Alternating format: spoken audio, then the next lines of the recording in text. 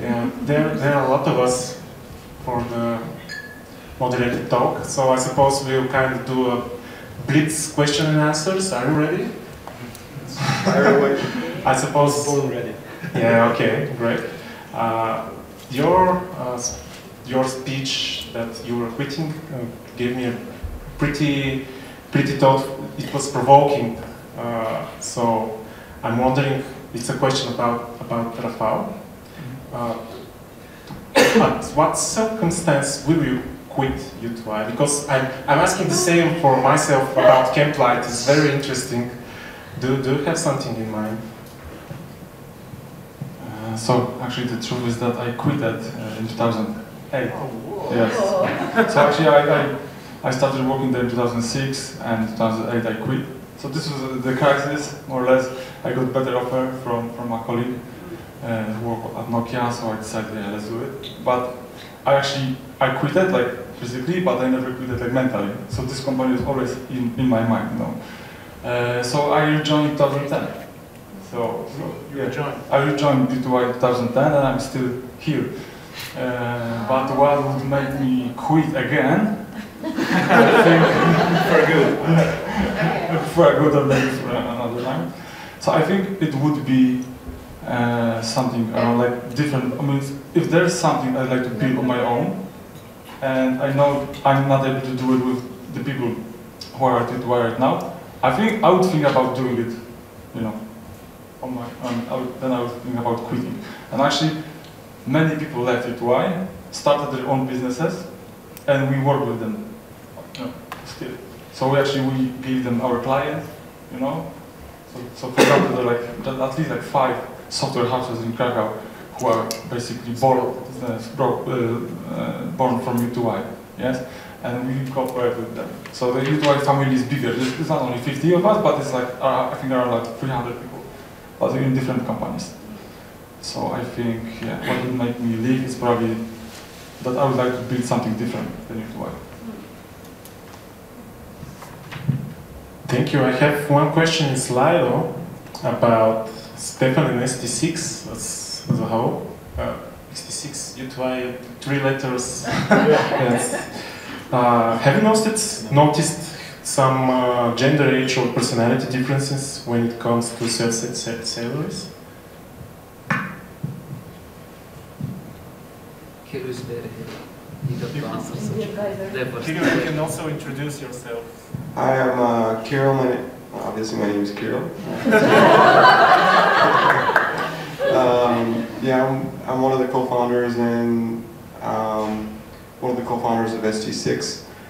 We honestly we we haven't we haven't found. I mean, we're, we're a small team. We're 14 people, so we we haven't had a whole lot of time to derive patterns based on gender or any other character, age or any other characteristics in terms of um, how people behave when they set their own salaries.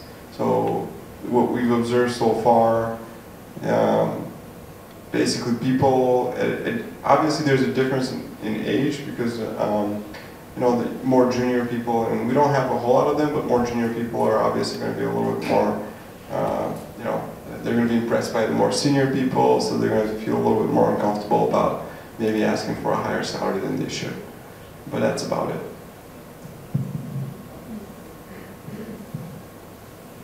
Do you want to add something? No, no thanks. totally random that there is no diversity on the right now. Yeah. Merit, merit, totally random. You should be Like- careful of that. It, it was uh, pretty interesting because I saw a blog article in Corporate Rebels uh, about U2I, uh, and I was very interested in the idea of Sherpas. Do you have a, you said you have a Sherpa, but you're Yeah. yourself a Sherpa. Can you explain explain that dynamic? I mean, what, what does it mean to be a Sherpa? Yeah, I briefly, oh, do you want to uh, briefly introduce the uh, role of the Sherpa uh, during my presentation. Like, in short, it's a person who helped you to find your path uh, at U2I. So it means that like uh, we all are programmers, most uh, obviously, but sometimes people have different ideas. So, for instance, like uh, there was a guy who, uh, who created because like he talked to the Sherpa, like to his Sherpa how he want to like in, in develop his leadership skills. So he created it's called the U2I Lab essentially. So it's a, a, a circle talking about the social, like uh, terms that um, uh, learns new technologies because like we do mostly web development but uh, obviously there like different like languages, uh, frameworks that we want to test. So they create like some internal small projects.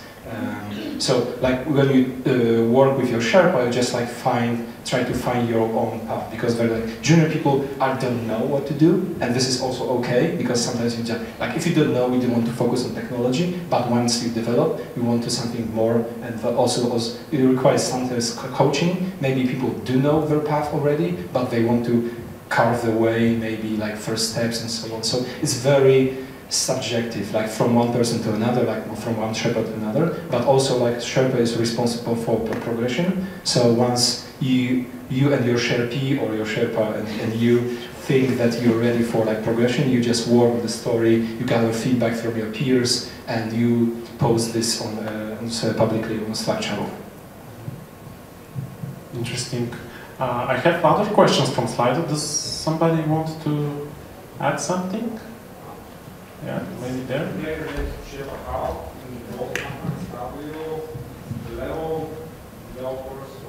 Maybe I will, I will repeat the question uh, about Sherpas. How do you level the? Because Sherpa sounds like more like coach mentor. Yeah. And it's interesting in both companies how do you uh, level like junior. Mm -hmm. Do you have such levels?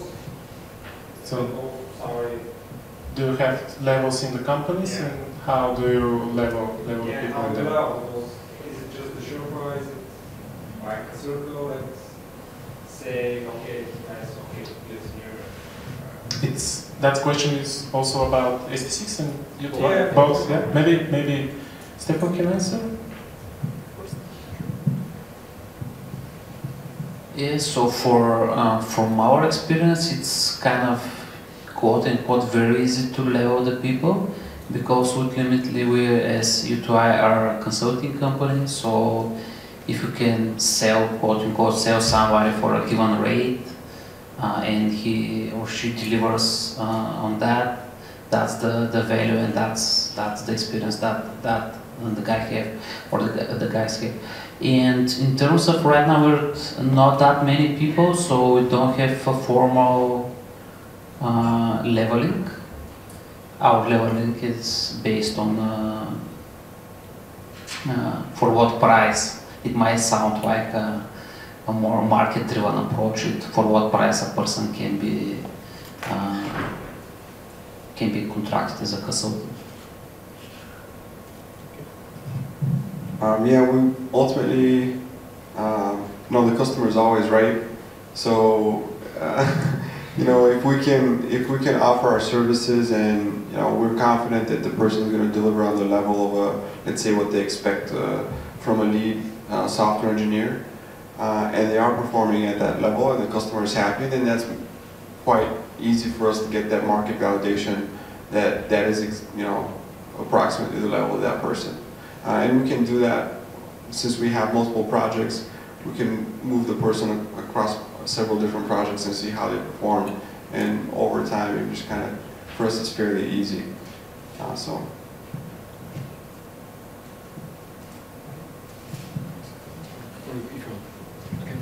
Um, we have ranking system, which actually, as I said, like it's detached from uh, from your role. So in short, it's just like how the company values you, and obviously, like it also it was like very organic. So initially, we just uh, set some like salary, like a base average salary in the market, and then we just increased it by 30% because we really wanted to overprice our developers.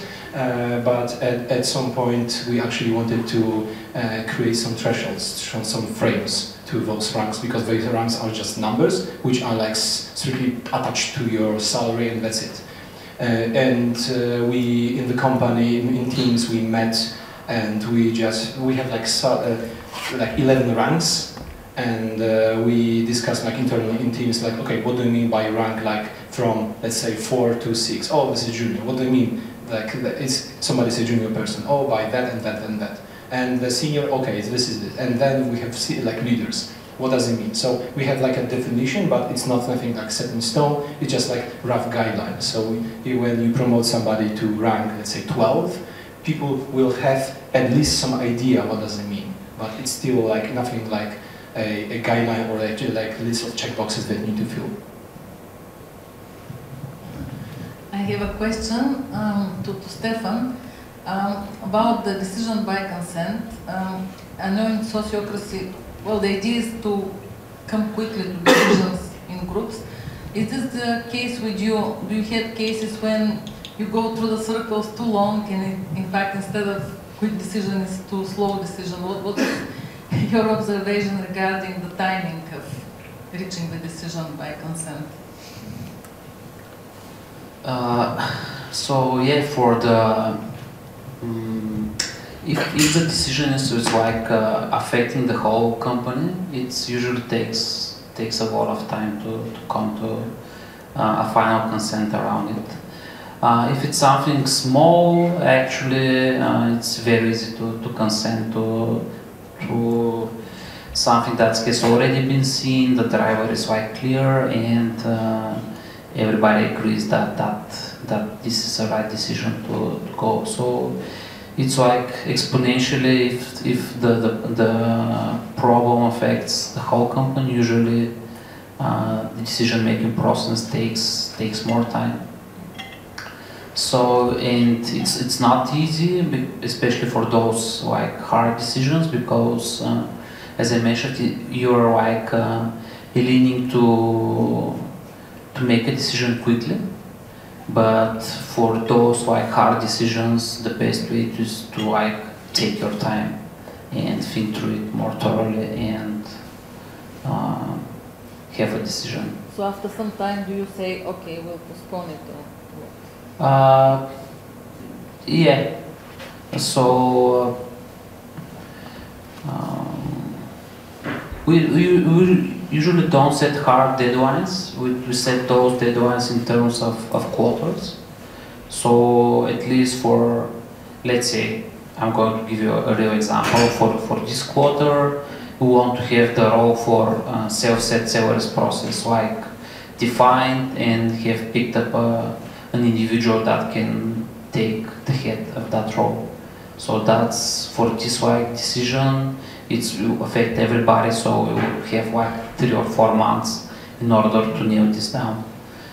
Uh, and for example, we have other other other important decisions in the company. We want to have to have some kind of a restructuring of the company and to know that it's, it's going to take a time. We need to have a research on it. So again, that's a like decision that will take a couple of months. So based on the impact of the decision, the the time to make a final consent is usually exponentially grows. Somebody else? Question? Yeah, I have one. I can say about our decision making. I think decision making is the hottest topic, one of the hottest, top, hottest topic at U2I, because it, it can take ages to make uh, any decision. And from my experience, I think there need to be an owner of this decision. If there is, if there, let's say there's an idea, yeah, somebody throws an idea, nothing happens with this. Yeah, I mean, people are frustrated or nothing happened. There's no decision. I think there need to be a strong owner of this of this of this of, of this, of this idea who will, will drive through all kind of different processes until the decision. Yeah, it might be yes or no, but yeah. So uh, decision making in this kind of uh, organizations is very uh, is very uh, hot topic and. And uh, do you have examples? That's a question for both companies about similar similar companies like yours, but in a bigger scale. I mean, like for ST6 sociocratic companies that are like more than 300 people, with for you to have some companies that are having something similar or alternative to Sherpa model, and but just on bigger scale. Can you think of something like that, like an example? I believe there are companies like that, but I think this is something that we are struggling also. Like I said, that we're a company of 50 people because this is like by some research, this is the uh, the boundary that you know, like the, the tribalism. Actually, you can keep like close relationship with those people. Like when you extend that, then you need to create some kind of structure, or you can split. So like I know that obviously like we all evolve in different way. So it means that like I can imagine that there is a single company like like U2I. Maybe we share some some values or some some uh, um, some cadences, but I don't think there's same thing the same company. I know some, but they split, or they create structure, or maybe they have this like smaller teams. So like they have a structure on the organizational level, but within teams like smaller teams projects, they maintain this like self-organizing culture.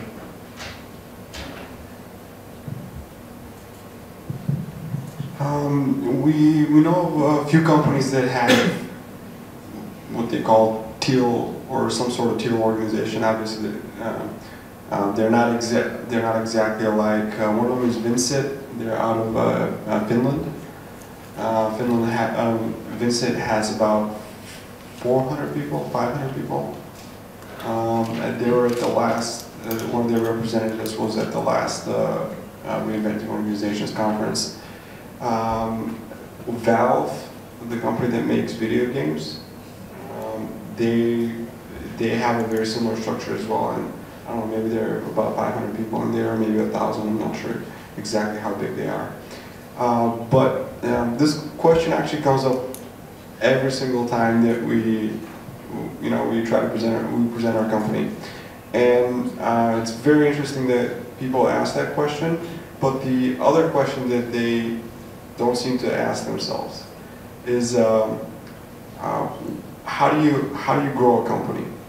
Uh, do you grow a company by early on saying this is going to be you know from 50 people and let's say that's the breaking point from 50 people to 50,000 or to 10,000 you know, depending on how big the company is going to get.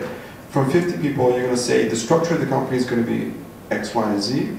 That's going to be the structure of the company, and this is not going to change from 50 to 1,000 to 5,000 to 50,000.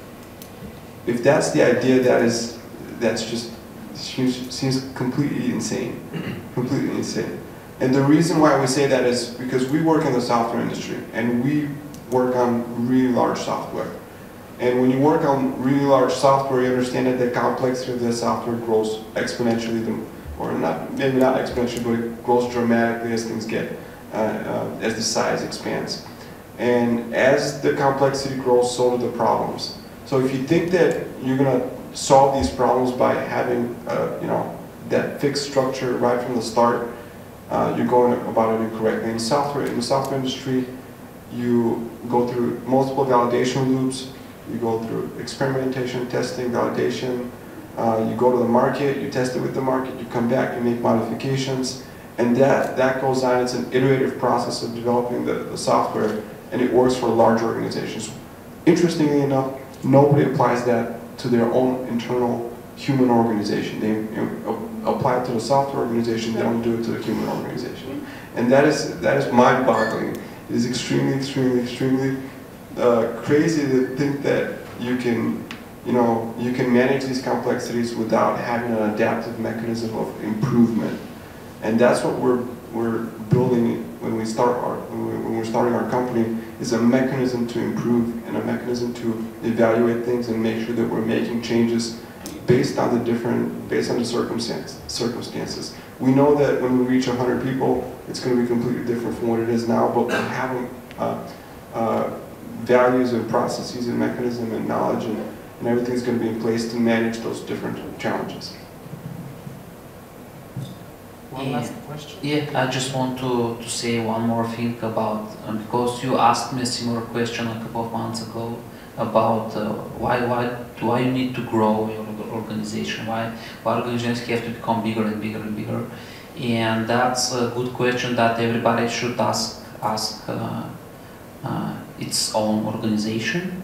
So the only viable reason is to, to bring more value and to solve problems into, into the world and like create create value.